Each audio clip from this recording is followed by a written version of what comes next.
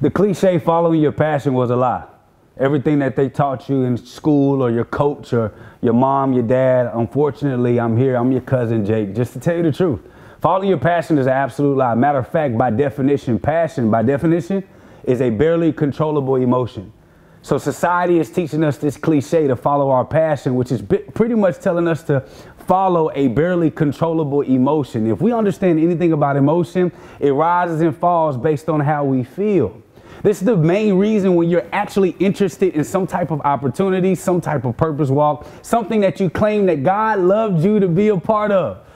And you, re- you find out why you, you're trying to figure out why you can't actually like realize it or make it happen, or you're trying to figure out why you can't stay in it or stay focused. It's because you're chasing passion, which by definition is a barely controllable emotion.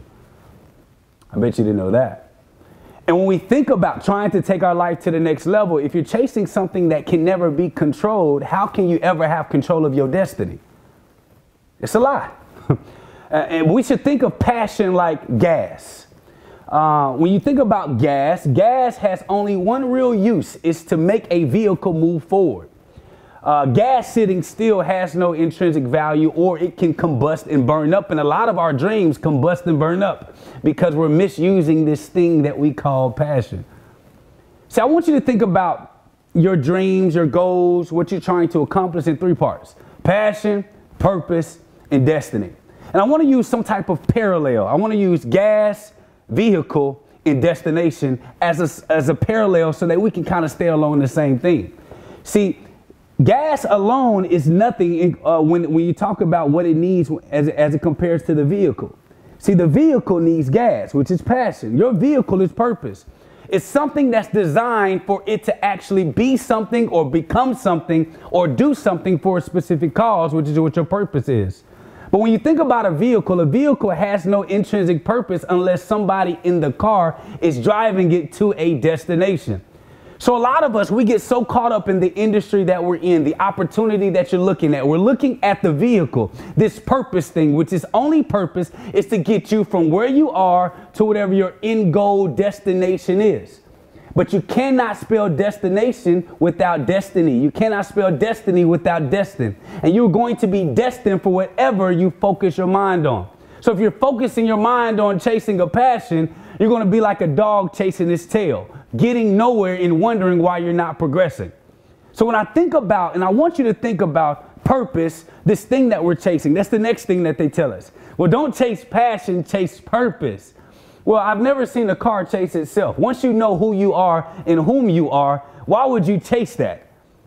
Without having a destination, a place that you're going, that vehicle means nothing. That car means nothing. That it looks nice. You may drive a Rolls, but if it has nowhere to go, it's going to be parked in a garage, which is a lot like most of our dreams, parked somewhere. It's filled up with gas. It's filled up with passion. You got all the excitement for it, but you have no destination. You don't know where you're going. And when you don't know where you're going, you will never get where you want to be. It's very simple. What we should be focusing on is our destination, where our destiny is. Because you're destined to find your destiny where your destination lies. If you pay attention to where you are going. And when you pay attention to where you're going, the vehicle, that purpose thing, doesn't really matter as much because you want to find whichever vehicle actually gets you to your destination the fastest. So you remember when you was a kid, you had uh, that bicycle that you thought that was gonna be, I said, oh, that was the most, that was your favorite bicycle. You had a lot of passion, energy riding that bicycle, right? And, and guess what? When you got older and you had to go a further place, so you couldn't just go to the park anymore, you actually had to get to school. Well, dry, riding that bike wasn't as efficient as getting on the bus to get to school, so you changed vehicles to, because your destination changed. And then when you when you went from the bus, you said, "Man, I can get a car." You went from the bus to a car. And then you went from that car to another car. You went from that car to another car. And then you took your your first trip out of town. And you got on the plane. And this is when you realize that uh, depending on your destination, your vehicle also has to change. This is why a lot of us also cannot find our dreams.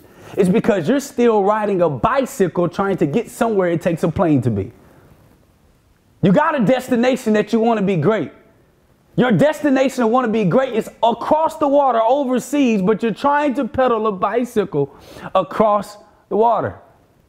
You see how it all kind of works together. You got the energy, you got a vehicle, but it's not the right one. So, this is why it's very important for you to know where you're going so you can choose the right vehicle. A lot of us get so caught up in what industry, what career, what opportunity that we're in, and we lose sight on where we're going. And you find yourself, man, I want to do this. You got a lot of passion, you got a lot of zeal in doing this, and then we're like a bird, we're like a dog, we're like a squirrel. Well, our, our mind cannot stay focused because we don't know where we are going. So you find yourself at the gas station of life all the time, in courses, mentorship. uh, uh, bugging your mentor all the time, plugging your head, going to your pastor, praying and praying and praying that you're going to find something. And you get all this gas to go nowhere because you don't know where you're going. So if you want to actually achieve your goals and your dreams, figure out where you're going first before you decide to get all passionate, excited about it. If you want to figure out how to accomplish your dreams, Find out where you're going and then find the best vehicle that's most suited for you to get there. But above all, that vehicle means absolutely nothing if you don't know who you are. Jake, what do you mean? What I mean is that car could have a destination. That vehicle can be gassed up. But if you don't decide to get in the vehicle, the vehicle can never get to where you want to go. It's very simple. So, yeah, be passionate, but don't chase it. Yeah, you have a purpose, but don't focus only on that. Find your destination, find your destiny, and everything else will make sense. And when you find your destiny, you will find you. And when you find you, you can capture your dreams. My name is Dr. Jake Taylor Jacobs. And I don't want you ever chasing passion. I want you to find your destiny and chase your destination and go get your dreams. Peace.